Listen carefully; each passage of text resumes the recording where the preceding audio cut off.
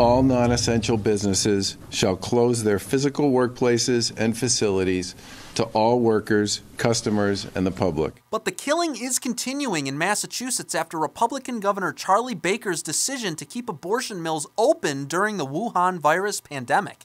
A document from the state's executive office of Health and Human Services explicitly states that, quote, terminating a pregnancy is not considered a non essential, elective, invasive procedure, unquote.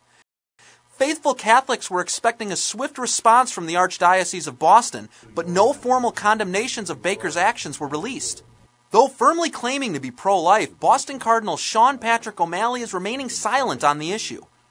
Baker isn't the first pro abortion politician he's associated with. In 2009, he attended abortion advocate Ted Kennedy's funeral where he defended his participation, saying, will not change hearts by turning away from people in their time of need and when they are experiencing grief and loss, unquote. This isn't the first time Governor Baker's actions were met with silence from Cardinal O'Malley either, despite advisory from the United States Conference of Catholic Bishops stating that pro choice speakers should never be given a Catholic platform. O'Malley has allowed Governor Baker to speak for Boston Catholic Charities in 2017, 2019, and 2020, and the Boston Catholic School Foundation in 2018 as a surprise guest.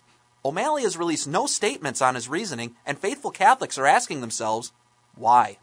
Joseph Enders, Church Militant, Detroit. It's born in a community where every person counts.